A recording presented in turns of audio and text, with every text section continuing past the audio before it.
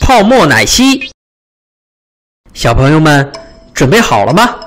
今天我们要开始像巫师一样调配魔法泡沫了。你需要准备白醋、小苏打、食用色素、洗洁精、彩色亮片。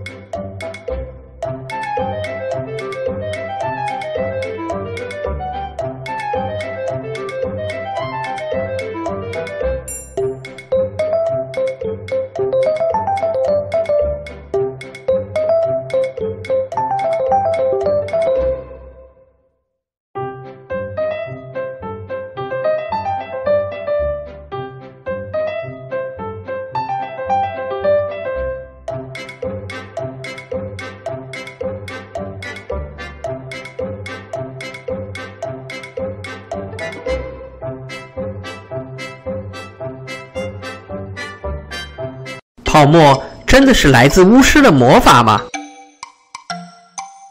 其实它是一种简单的化学反应。所谓化学反应，就是几种物质奇妙的混合，产生了新的物质。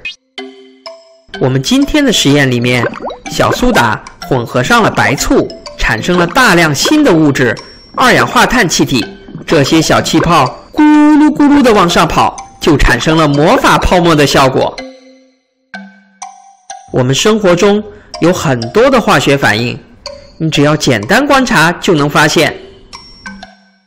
比如放在空气中的铁钉，时间长了会生锈，铁锈就是铁钉和空气中的氧气还有水分发生了化学反应产生的新的物质。还有我们家的水果，如果放的时间长了会发霉。也是因为水果和空气发生了化学反应，产生了新的物质。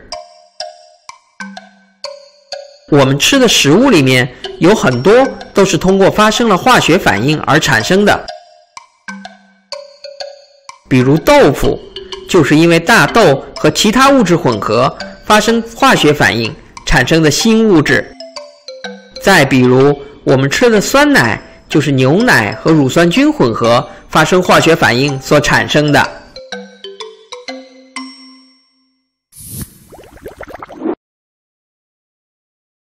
玩科学。